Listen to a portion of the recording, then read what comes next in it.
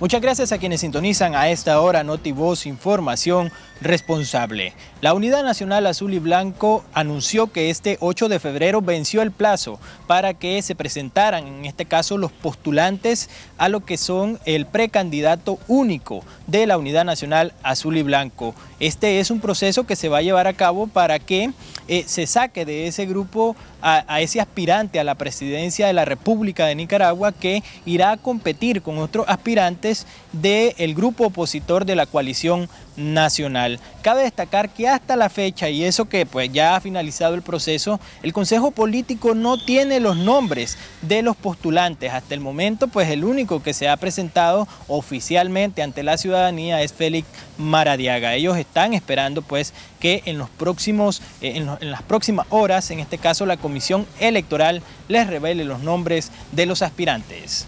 Hoy creo, en la mañana. Entonces hay un comité electoral que nos va a anunciar, pero estamos todavía en ascuas, no sabemos quiénes se postularon eh, eh, para precandidaturas, lo sabremos al igual que ustedes. No, no, todavía no sabemos quiénes son los que se postularon. De momento tenemos el nombre de Félix, que ya lo saben todos ustedes, pero el comité electoral va a anunciar si hay más precandidatos. De momento no, no se sabría. Su primer enfoque es crear la democracia. La verdad es que no podemos demandar democracia en Nicaragua si no iniciamos desde la casa. Hemos estado tratando de construir hasta formar un comité electoral que va a ser el garante de todo este proceso.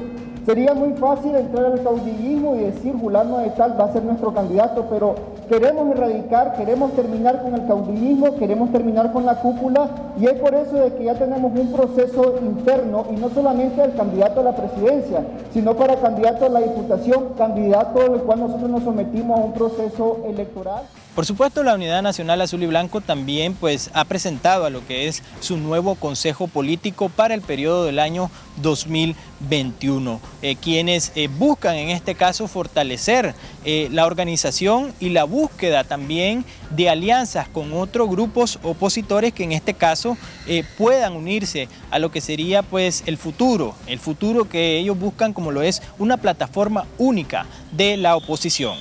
En primer lugar, el fortalecimiento organizativo de la estructura de la unidad nacional para enfrentar cualquier escenario. Eso incluye también prepararnos para un escenario electoral. La segunda decisión estratégica que la Asamblea Ciudadana de la Unidad mandató para este nuevo Consejo Político eh, tiene que ver con fortalecer la unidad de las fuerzas de oposición en este país. Tenemos un mandato y un compromiso institucional como unidad nacional, independientemente de quienes detenten los espacios, de tener conversaciones y hacer todo lo que tengamos que hacer para conformar la unidad de todas las organizaciones de oposición en este país. El compromiso del Consejo Político entrante es también el, compromiso del Consejo Político saliente. Por supuesto, este Consejo Político de la Unidad Nacional Azul y Blanco estará conformado por seis mujeres y seis varones, entre los que destacan, eh, en este caso, eh, María Laura Guevara, también Alex Hernández, José Antonio Peraza, Tamara Dávila, Daisy Godoy, entre otros integrantes de la Unidad Nacional Azul y Blanco.